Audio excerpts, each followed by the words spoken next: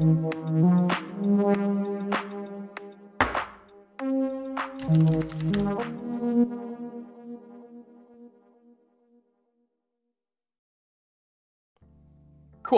let's jump into the live portion of this. With this live portion, what we'll do today is we're going to get a full working XPlanar project that with a couple clicks you could have working with real hardware, real tiles, real movers. We'll interact with it. We'll define some points on these tiles, and then um, we'll have some a way to go and enable, disable these movers, and then start our sequence. So we'll go through the full configuration of XPlanar and then we'll run it. Eventually, we can link all of these things to TwinCAT HMI, which is a video that I'm hopeful is coming very, very soon. Jakob, very soon, very soon. and uh, because that's all he has time to do is just make videos for us, which is awesome before I file new, we've got a couple things that you will need to do. The links are below. We'll need to install the latest version of TwinCAT. I'm on 4024.29. We'll install the latest version of TF5890, the latest version of TF5400, uh, which is included, or that is the, the main package that includes TF5430. And within those two section, or those two extensions, or uh, TwinCAT. Uh, they're all free, all available on the website, and all of the licenses are available in trial modes. Install those, and we'll have everything that we need to get going with this live view. So if you haven't done that yet, do that now and jump back into this video. Here we go. Now that those are installed, we'll file new project just like normal. I'm gonna make a new project here. You can name it whatever you want. I think TwinCAT Project 4 looks perfect to me. Four is my lucky number, so that ah, it's a, it's a, it's a sign. Yes, it is. It's a sign. This is going to go very smoothly, as it always does with live software demonstrations. as long as you don't get a blue screen and jump out, I'm fine. That's right. That's it. Everything is good. Before we jump into the XPlanar configurator, we just talked about the differences that if you actually had XPlanar hardware, which how you would scan those in. We also need to have some isolated cores on our workstation. So I've already done that, but I will walk you through briefly how to do it. And then as you set this, you will need to restart. So do that and then jump back on with us. To isolate your cores, do a read from target it will you will likely show if you're on a decent workstation you will show probably between hmm, i'm guessing 8 and 16 and we'll probably say 16 here and we'll probably say 0 here. So what you need to do you click read from target click set on target and you want this to show 4 over in this right hand side. You can do less. I'm hoping that everybody that is working on this has some cores available to give to this application. I would say the minimum that you could do in simulation, I would say, is two. So if you do need to do two, I think that's fine. Uh, we could try it later on, but I would say try and do three or four isolated cores. So so XPlanar requires doing... you in simula- even in simulation mode, it requires uh, isolated cores to, to work. It does, yes, because if you and this is something that we could talk about in a later um, in, in a later session, but when you look at the way that the real time is sharing processing power with Windows. When Windows jumps in and uses the resources, it really affects how XPlanar can compute what it needs to. And it is required that we complete everything we need to in under 250 microseconds. I would say probably under 230 for a little bit of room to spare. So so that's very, very fast. And when we're dealing with Windows and messing around with Windows, that can add some challenges to the simulation. So I think it's best to isolate these cores. And uh, if you have four cores, it would look something like this, where there's a four in this in this side here. Don't be too concerned with this with this side that's shared. What that just means is you're sharing that with Windows. If you only have three, then you uh, you that would look something like that. So then click set. I'm going to click cancel because I have already done this and then click restart. You will then restart your machine and jump back on with us to continue. So the very first thing you'll do when your project is loaded, when your solution is loaded, is scan hardware if you have any. So if you have hardware, devices, right click scan. I think that was in a previous session, a previous course uh, when Jakob, you think you talked about this in your IO section, didn't yeah, you? correct, correct. That's right. So if you haven't watched that, go watch it. We do not have any hardware. We're just hanging out on my laptop or on your workstation. So this we will skip. But that would be the first step if you did have real hardware. Okay, so our hardware is scanned or not scanned, and you can see here we don't have anything else within this tree. So we are in good shape. The next thing is in TwinCat, XPlanar, and Configurator. You'll also notice here I am in XAE Shell. You can use Visual Studio 2017 or 2019. I do have 2019 installed, but it is not required for anything that we're doing here. I really I like to stay in, in XAE Shell unless there is a specific reason that you would need a functionality, you know, that does not exist here. So this is the XPlanar configurator that we talked about. This is a super powerful tool and really saves you an insane amount of time. So if you had hardware, you would click scan BTNs. We don't have hardware, so we can sorry, uh, sorry forget to about interrupt you. BTN, what, do you know what that's short for? uh, no. okay. I'll keep that out of, of the video. No, let me tell you. Let, I, let me talk about that. So hang on. Yeah. Let me talk about that. Uh. Reset all. Yes. So the first thing you would do is if you have hardware, you would click scan BTNs.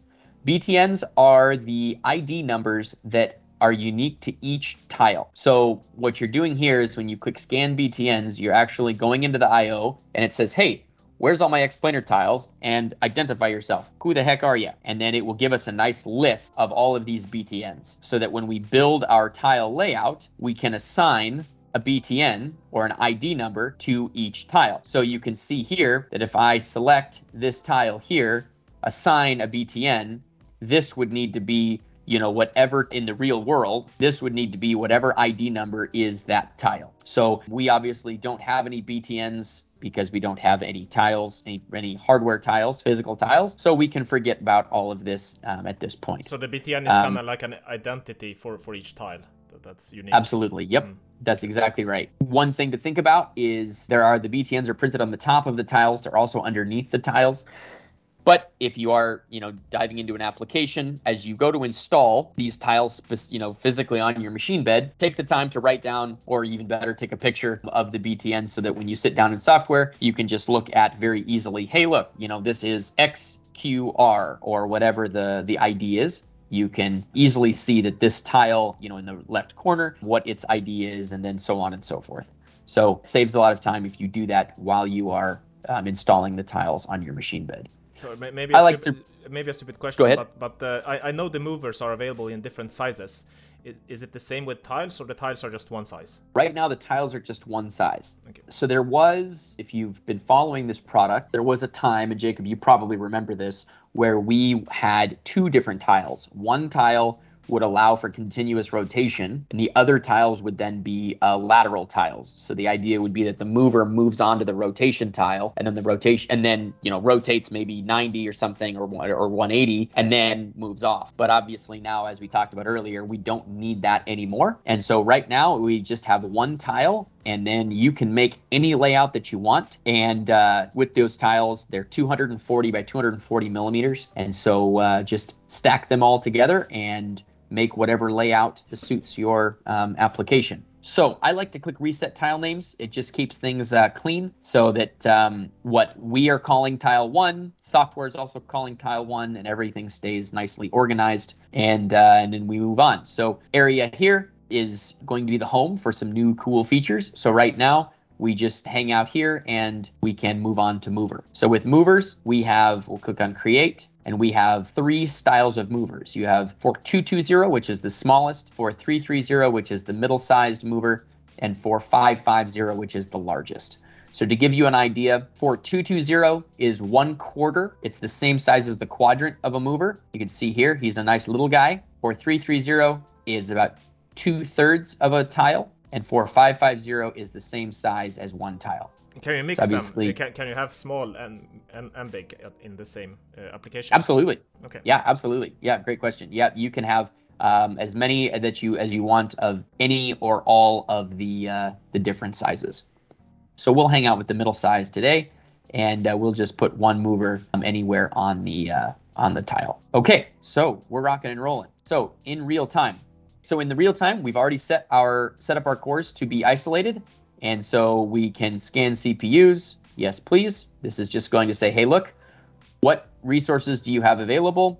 I'm going to click reassign modules, and the software is smart enough, the configurator uh, is smart enough to say, hey, it's most optimum to split you guys up, to split you guys up, and you guys up. And it sets up all of our tasks for us on all of our proper cores. It sets up the timing for us. So all things that we used to have to do manually, but everything is done automatically for us. So we are in good shape at this point, and we can click export. Yes, I do want to export. And this takes just a couple seconds here. So it actually selects the, the cores and everything for us automatically and, and sets the correct cycle time and, and all of That's this. right. So, so you don't have to do it manually like you would do, for example, like in, in the traditional motion accesses where, where you, you have to put them yourself. That's exactly right. Yep, that's, exactly that's right. Very, that's very convenient. Yes, it's super convenient. So what this is saying here it says system is running in simulation mode, uh, or newest tile calibration source is missing. Well, you bet we are running in simulation mode because we don't obviously have any hardware, so it, So- sorry, some recognizes feedback. that. Some feedback. File from the Beckhoff website. It should be Beckhoff website, but it's. you see. Hang on, Okay. Sorry, on, sorry, I, I interrupted you. this is amazing. Hold on, just one moment. I, I, I think I have OCD or something, you know. How do you catch that? I've looked at Jakob. I have looked at this No, window I- I- no less than a thousand times. Yeah, I, I have OCD, I think. So I, when something isn't aligning or something is misspelled, then my uh, my brain is just immediately on that. And and then Uh, I, like I said, And then the problem is I can't think of anything else than that. That's the problem I have, you know. And then I just have to say it. That's amazing. Okay, you're incredible. Um, no, no, no. It's it's really it's really torture. before I was so rudely interrupted. Um, okay, so yeah, so what this is saying is we're running in simulation mode or there is something missing. Well, nothing is missing. We're just simply running in simulation mode. So it knows that because it hasn't seen any hardware. What would pop up if we had hardware would be some uh, BML files. BML stands for Beckhoff Machine Learning Files. And we would copy those files into a directory. And uh, maybe we can do that in a part two if people are interested in seeing what that looks like. So we are good to go here, and we press any key to continue. You can see configuration successfully exported to TwinCat. ah, yeah. So- now I see that it's uh, something popped up uh, in the background there. Yes, it did. Yeah. That's exactly right. Yes, it did. So we're done with this at this point. Take this guy, get jump out of it. Okay, so we've got our X-planar portion added to our project. You can see what this all looks like here. Obviously, we don't have any I/O. That'd just be physical I/O, but we have everything that we need here for X-planar to uh, run this in simulation. So the next thing to do is let's add some PLC code. So right-click on PLC, So regarding the configuration, we really don't have to do anything manually here. So you do everything in the configurator, and then it ex- exports it to here. And and the only thing we have to worry about here is actually the the PLC code, the logic. That's exactly right. And then we'll do one more portion after the logic.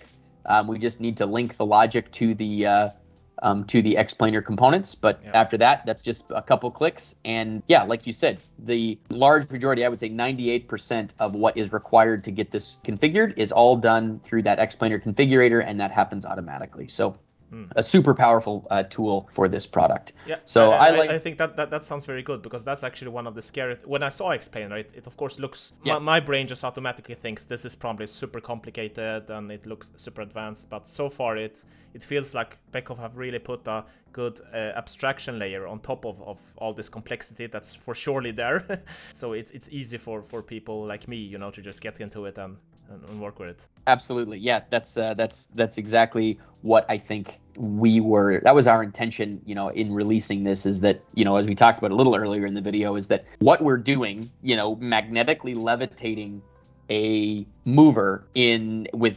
maintaining six degrees of freedom, where the mover can, you know, rotate. It can go up, down, forward, backward, left, right. You know, roll, pitch doing all of that in code, the math, the physics uh, behind that is you know mind-boggling, right? And and so you know we had to develop a way to bring that functionality to people that you know don't have a PhD in physics, and so I think our developers have done a wonderful job with that uh, with that feature. So yeah, so the next portion is just the logic. So we jump in. I named it PLC one. You can name it anything you want, and uh, click OK. So this will put a just a default PLC. I think it's a great place to start. This should all be very familiar to everybody that is uh, that's gone through the other courses from Jakob. And as soon as that adds here, we can jump in and we will add our libraries. So under references here, you can see we have some default libraries. Let's click add library and we'll just type in XPL and you will see we have the XPlanar utility library. Yes, please. Add library, type in physics, PHY, there's physics. And the last one we'll add is MC planar motion. Planar, and we see MC3 planar motion. Perfect. Good shape. So we've got our libraries now, and now we are ready to rock and roll uh, with our logic. So open up main, and uh, let's make some variables to start. So we've got, uh, get my cursor out of the way here. So we've got B start. And Jakob, I don't want to hear any attitude about my Hungarian notation. I'm not going to say anything. I think Jakob hates that. Actually, I know he hates that. And so I'm going to use it now more often now that I know he hates that. That's the right so, attitude. so we've got a few things that we need to do to make this uh, work. We've got B start, B, uh, let's do B enable, B uh, disable. These are just going to be some triggers to interact with our with our application. Um, let's do a B reset. And um, we need a case.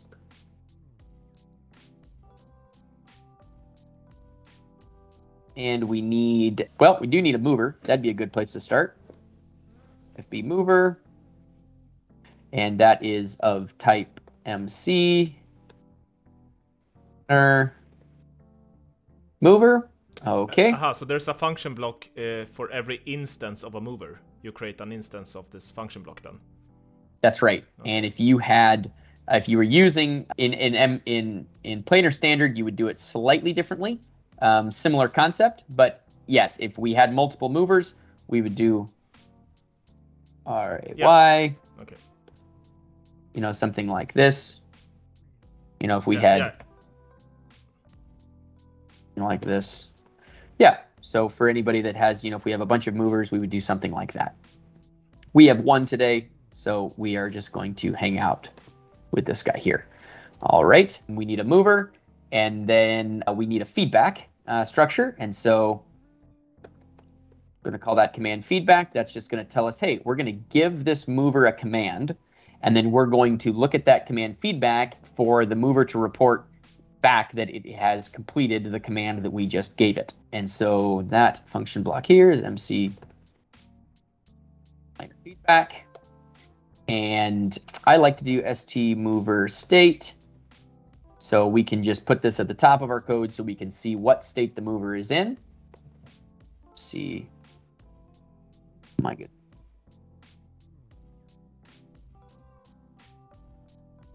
State all right, we do need some positions to send our movers. So let's make some positions. st mover positions.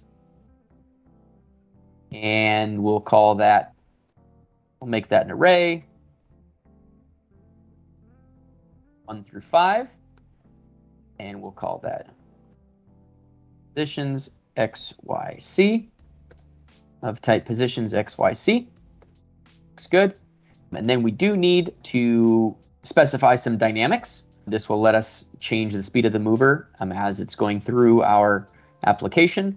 So let's do an FB dynamics for a move. And that's going to be dy and then my dynamic con dynamic constraint Okay. And positions XYC, it is position XYC. Sorry about that. All right.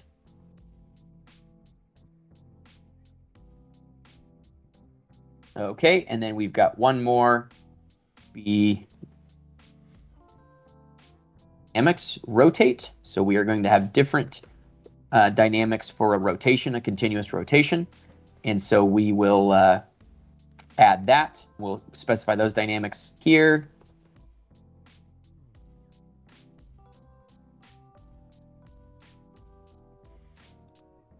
Maybe I'm going Cool. ahead. Uh, maybe I'm going ahead a little bit of, of what you're gonna show, but I guess one of these objects uh, is what you're gonna you're gonna have to link this somewhere to the axis, right? That's correct. So we will link uh, this guy right here. This FB mover will get linked to this guy right here. Oh, so it's like an it's like an axis ref basically, but for That's for exactly what it is. okay. Yep. Yep. I I think the best way to describe it is an axis package, just Yep. because obviously, right? It's six axes, basically. Yeah, yeah. Um, so uh, yeah, so I I kind of call it an axis package. Oh, yeah, yes, right. just- Yeah, exactly. I always think of accesses because I also always relate it to the licensing costs you have. You know that you pay per access, for instance. That's but, right, But, but yep. here it's different because it's of course obviously separate licenses for XPlanar compared to ens- nor- That's normal right. numerical control accesses. That's exactly right. Yep, that's exactly right. So the last thing that we've got to, uh, as far as for our variables, is we need a st mover fc move c options.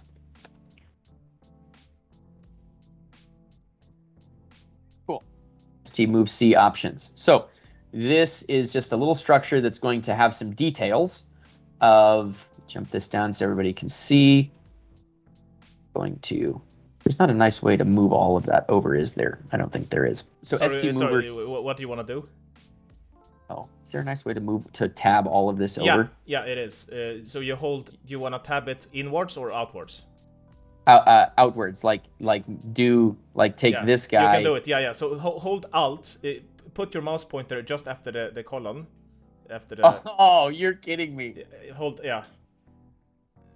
Uh, i'm going to include that in the video all right so here we go so this is kind of ugly and i have ocd so hold alt drag down and over and then we can tab that over slightly so that we give this guy a little space cool so mover c options we were talking about that mover c options this is just a structure that has a few details so that when we do want to go into continuous rotation we can put some details of how many times we want to rotate this the direction we want to rotate and things associated with that move and that's all handled in that uh, in that structure so at this point, we are ready to rock and roll. Let's do a few things at the top that need to run cyclically. So we'll do fb mover dot update,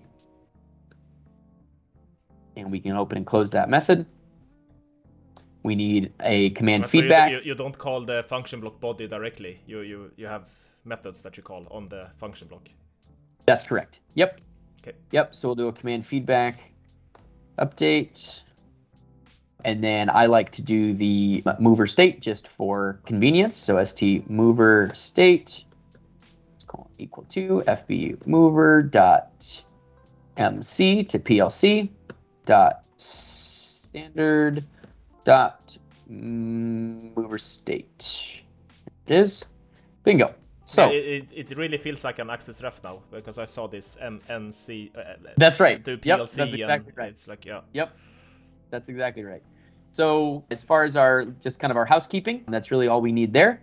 And now let's uh, make some triggers. Since everything is built with the OOP principle within these libraries, if you haven't had an opportunity to dive into that uh, programming, those programming principles, definitely uh, take the time to do that. I think that uh, you'll really enjoy kind of the way that uh, you know you can abstract code, and it's just becomes so much more usable, so much more readable. And yes, so we will uh, do some of that here. So a few triggers that we need to that we need for our application. We're going to say if b enable, then we want to say fb mover dot enable. We're going to do a command feedback. Give it that command feedback that we have instantiated, and then we want to say b enable false. So what we're doing here is if we tell it to enable, I want it to call this enable method one time. I'm going to pass in the feedback structure for it to respond, and then I'm going to turn that back false. So it's just going to be a one shot, and then uh, and it won't sit there and cyclically call the enable fun- the enable method. Okay, so we just need to call enable one time, and we're going to utilize this style of command uh, for the rest of what we're doing. So we'll do two more of these. If b so this basically disable- this basically linked the mover together with the command feedback. That's exactly right. Yep. Yeah. So if FB mover disable. Okay. A B. My cursor. Right. You could probably copy and paste this, but enough of it. It's all different just enough that it's kind of. I'm not sure it saves you any time. Then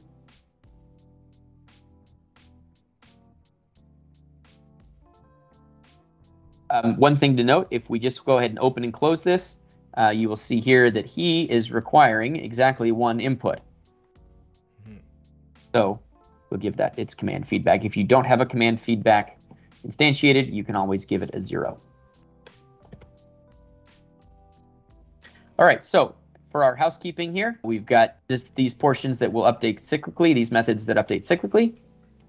We've got our triggers to enable the mover, to disable the mover, and to reset the mover. Whoops, forgot this here. Reset. Wow. Rock and roll. All right. And so you you would have a feedback as well for every for every mover then, I assume.